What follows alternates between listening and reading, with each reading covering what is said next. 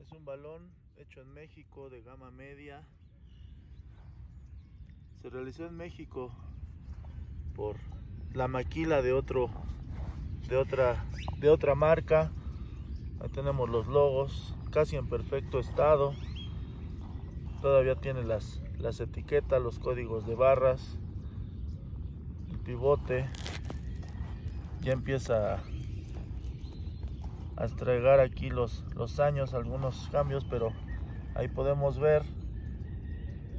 Esta es una, una maquila que le hace Molten Adidas en los 80s.